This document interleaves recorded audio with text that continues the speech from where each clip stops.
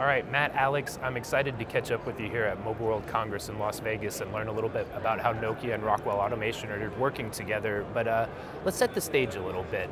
The telecoms industry has been trying to get into the industrial world for some time now with private 4G and 5G, and it's been slow going, and I think it's complicated, right? Cellular is complicated, industrial automation is complicated, so naturally putting them together is complicated. But could you guys maybe reflect a little bit on just some of the obstacles that uh, you have to navigate to make this real? Sure, yeah, the um, you know, cost is one. You mentioned complexity, um, lack of devices. Um, on the cost side, it's the installation and it's per plant. The maintenance, just to keep the network running, that's per plant per year. Um, resources to manage it. Uh, even if you uh, outsource it to a telco, there's um, management you know, that you have to do yourself. Um, and then there's the devices, the actual connection. So yeah, there's a, a decent amount of cost, the complexity, like you, you said it really well, the complexity of not only the infrastructure for 5G, but also for the automation and how to put those together, that's, that's, a, that's definitely a challenge. Yeah, and I mean, Alex, I know Nokia has been working on this since 2018, I think, and I, I know yes. you've, you've learned a lot, you've made a lot of inroads, but just any observations on how that market's developed? Well, I, I, think so. The market, I think that you're, you're right. So the market is developing, is developing slow, and I agree with the point that where you have, uh, where where cost, complexity, um, devices, but I think it's also about actually about the awareness about what is already ready, what is proven out already. And that's where IT, IT OT, there's always this, this, uh, this, this kind of a conflict between IT and OT where one wants to keep everything safe and the other one wants to drive technology in order to actually uh, generate more efficiency, generate more output out of a factory. And I think that that's where, on one hand it's slow, on the other hand we, we have been deploying uh, 760 plus customers with private wireless networks, with over 1,000 networks. In manufacturing, 158 networks. So that's not small, and, and that kind of tells you that yes, technology is there, technology is proven, does everybody know it? And does IT/OT, are they all understanding that yes, you can actually get these benefits out of it? So I think it's also up to us to, to make sure that we relay that, that, uh, that information, that actually that there is, um, it's, it's a proven technology. It's no longer slideware. It's realware, right? So there are networks out there which are deploying this. Okay, so I think you know that's good table setting understanding of the challenges that have to be addressed, but it's also a huge opportunity, right? It's a huge opportunity for telco to create a new stream of business, huge opportunity for manufacturing to you know, really do the nuts and bolts work of digital transformation. So with that, tell us a little bit about this joint go-to-market between Nokia and Rockwell. Um, so we're working with Nokia, we're kind of focused on the, the gear that's on the OT side. I mean, we don't do wireless networks, especially with private 5G, so we work with Nokia to be able to do those industrial applications, whether it's spectrum, whether it's you know how to use the network, we're working with them on how to do that and then focus on the automation side of it. And tell us a bit about the network and spectrum piece, Alex. So why I like the, the collaboration a lot is because um, the, the insight into OT the, the ways how the network from a wireline perspective today traditionally, how that operates and how that behaves, that is an insight which Rockwell knows very, very well. Right? And what we're doing in this collaboration is that we are translating that from a wireline to a wireless, where we're understanding that what is the expectation of the network, of the devices, how does that collaborate, and translating that into its configurations, into settings, so that we can predefine those, but also bring it into new releases, bring it into new software and features that we, that we anticipate on what the enterprise is going to need in the future. So Alex, I think in the US the focus is uh, using CBRS spectrum, so we have shared access to this uh, capacity for enterprises, and uh, you all are using 5G standalone. So a two-part question here, I guess. Can you kind of take us through the benefits of standalone versus non-standalone? And to the CBRS piece of it, is that sharing system reliable enough to really deliver on these mission critical use cases that manufacturers want to deploy? Okay. Yeah, so when, when it comes to its, the, uh, to its 4G, 5G, uh, and when it comes to standalone, non-standalone, obviously the 5G system is a system which is uh, linear cost, is much more, is, is a more optimized system. is a system which is, uh, from a performance perspective, different from an LTE network.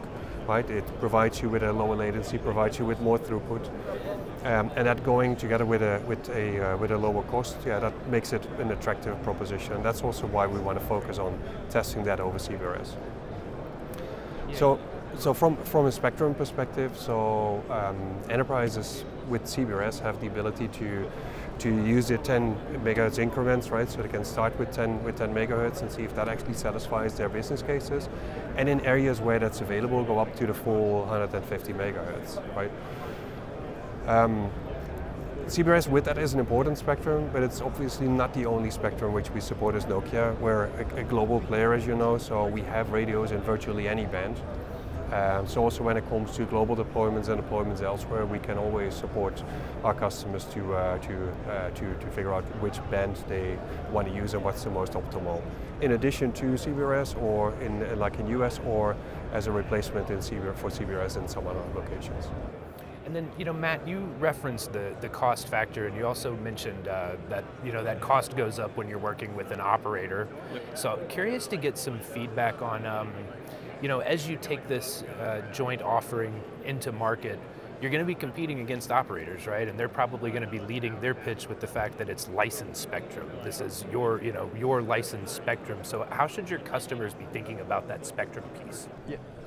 For, I mean, for our customers, it's it's really the, you know, there'll be some that want to do it themselves. You know, they'll want to you know, understand and own kind of the installation and the support and management of the network. Other customers will want to just outsource that, and we'll be able to work with either.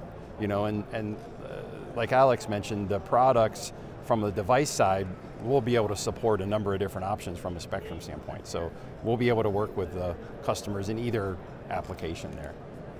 And I think this this always comes up. It's a bit of a, a, a false question, I think, but we'll address it anyway.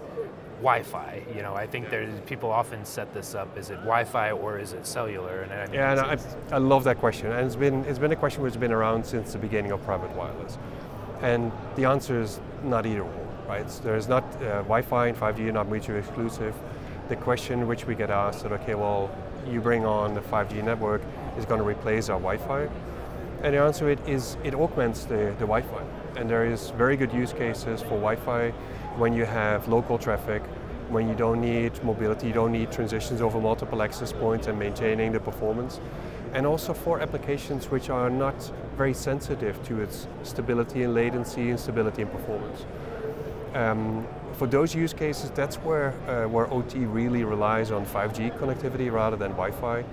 And, and that's where you see um, them actually pivoting then those applications from Wi-Fi applications over to its, uh, to its 5G. Applications like AGVs, right, it's very typical. Uh, you don't want an AGV, you don't want uh, an autonomous robot actually stopping in the middle of your production line, creating a potential traffic jam and creating all kind of security hazards. Yeah, so AGVs, that's one that I hear a lot about. Um, computer vision seems to come up a lot, but just what are some of the in-demand use cases that you all are seeing today that are, you know, really delivering kind of short-term ROI and business yeah. value? Yeah, so the uh, there's several of them. Edge to cloud is one, which is more of a data, you know, to feed the data analytics, you know, starts beginning uh, applications of AI, but just a, you know, some edge processing connected wirelessly to push data, you know, and, and the the private 5G nature makes that uh, location of that edge processing really flexible. Um, another one is just connected worker. Um, that's probably one of the best with the, the, the, devices that are actually available, whether it's a tablet or phone or whatever. Um, mobile assets like the a AGV, AMR, that's probably the best use case because the requirements that they have, like you just mentioned. Then the last one is the one, one of the ones we're focused on is the kind of the control aspect or untethering an asset, so uh, or a work cell or a machine, so customers can move those around to where they want them to be, just to optimize production. So, uh, what should we be thinking about kind of next steps for this relationship between Nokia and Rockwell? I mean, there's a lot of manufacturing interests out there that I, I know could benefit from, from your help. So, what what's next? So I think so. As, as we said, we, we really benefit mutually from the, the knowledge and experience which each others have in, in, in our own industries, right? So uh, operations, technology, um, the actual factory operations, that's something which uh, Rockwell knows very well how that operates, knows very well how the, how the devices uh, collaborate with the wireline network and what that means for wireless. So I think one is the fact that we actually will pre-configure a lot of those networks, that we actually will know exactly how actually configurations are to be set up. So the customers don't need to uh, don't need to, to play around with, don't need to pilot that, that's already a given. And I think the second one, which is uh, which is huge, is development of features. Right. So through the collaboration, we identified that what actually features do we need to develop on the network for manufacturing. So the pre-built. You don't want a network that actually does everything for everybody, but you want to build a network which uh, is, is scalable and which can be deployed in a way that actually it fits that particular target user group. And, and we're working with Nokia on being able to test, you know, and not only at our product test labs, but also at a customer site to be able to like, okay, here's it, here's the actual performance and how a control system works on a private 5G network. Now how can the customer apply that? And we test very demanding use cases, right? So for instance, when we think about things as low latency, how do you go to extreme low latency? What serves the use cases now, but also some of the future ones? And there's much more testing uh, going to be. Yeah. All right, well, it sounds like a, a, really pragmatic approach to helping manufacturers drive their digital transformation strategies forward, and I appreciate you all taking the time to share your perspective with our audience. Thank Excellent, thank you. Thank you, Sean.